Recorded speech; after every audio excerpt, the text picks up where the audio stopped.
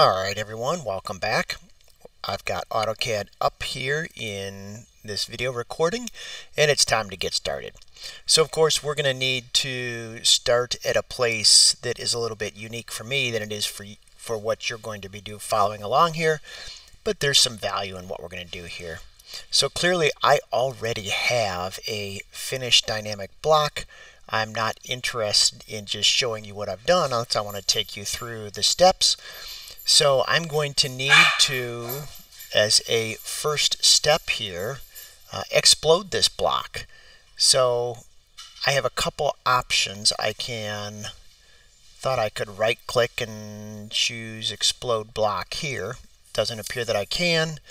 So if I simply type explode, that is a command, and this explode is going to disassemble the object that I select.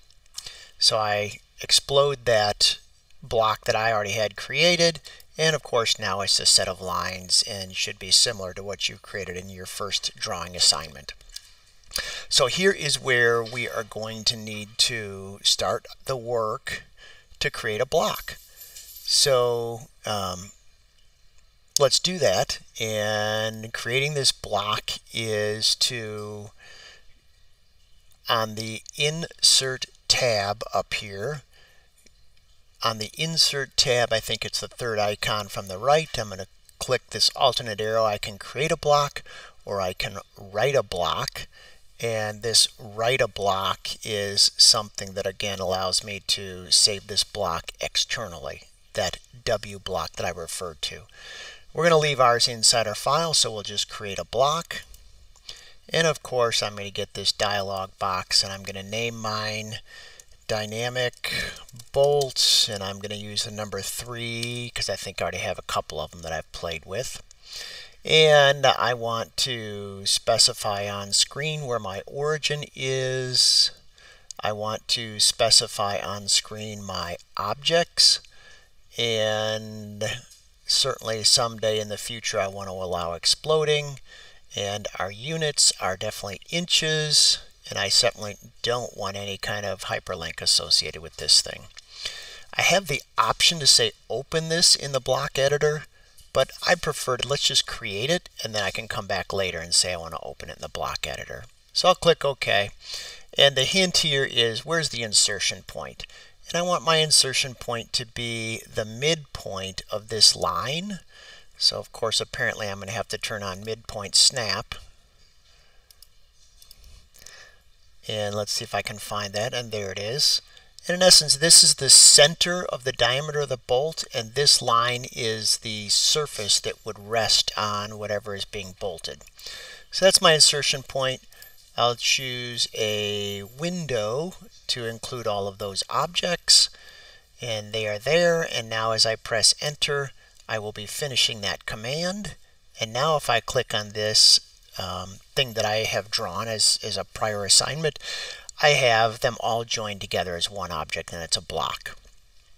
Okay, so now that this is selected, I can right click and select the block editor command. And of course I could select the block editor command up here in my ribbon um, this always seems faster to me, and this is just the workflow that I use. So Block Editor is going to open up um, an area that's similar to what I showed as a screenshot. The screen is now gray. I still have access to all of the AutoCAD command tabs and menu bars, but what I execute inside this black block editor only affects this block that I've created. So step one here is I have an additional properties box and AutoCAD has chosen to leave this thing floating when someone opens the block editor and so whenever I open the block editor the first thing I do is I dock this thing over on the left. You can dock it left or right but you know, so for this set of videos, I'm going to dock it on the left. And notice I never, I never kind of come up to the corner. I'm not docking the upper left. I'm docking the left-hand edge. So the left-hand edge wants to line up with the right-hand edge of my existing properties. And so we also touched on that there's these parameters area, actions area, parameter sets, and constraints for our block authoring. Okay, so here we have the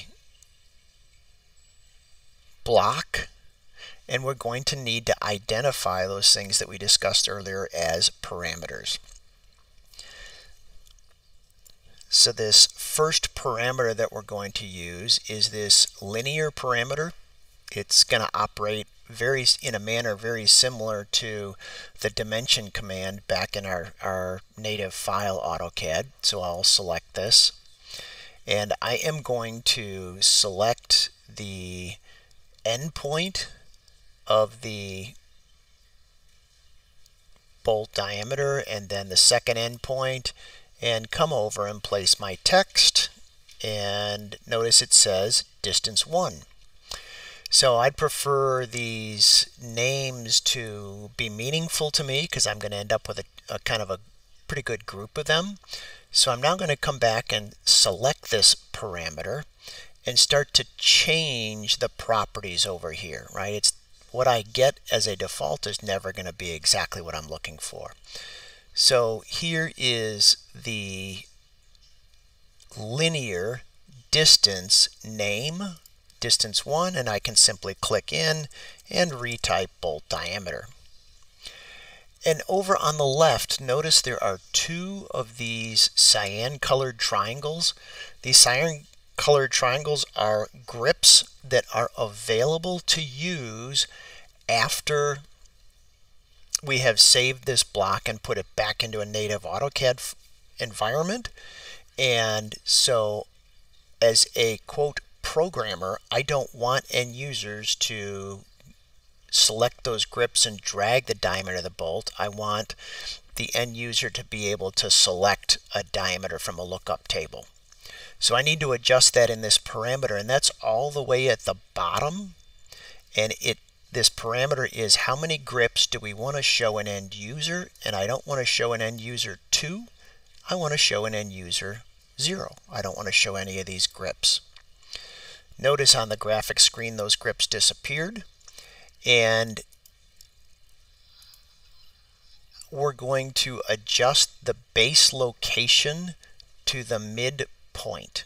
And it's a little tough to describe as we move here in the start, but anytime I want to adjust a diameter, I need both sides to move out from the center, and that's analogous to this midpoint option.